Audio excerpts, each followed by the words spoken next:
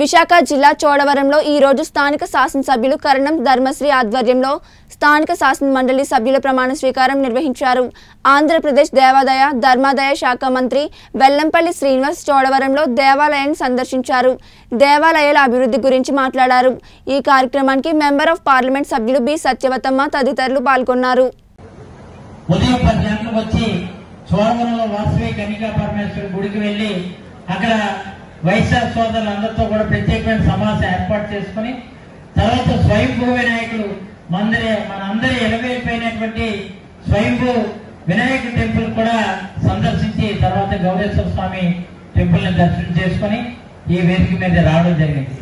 మరి ఈ కార్యక్రమానికి జిల్లా మంత్రివర్యులు అయినటువంటి అవంత్ శ్రీనివాస్ గారు కూడా రావాల్సి ఉన్నప్పటికీ ఈ రోజు ద్రోణరాజ్ శ్రీనివాస్ గారి తారీఖు ప్రథమ వర్ధంతి కాబట్టి అక్కడికి నేను అటెండ్ అవ్వాలని రాలని చెప్పడం జరిగింది.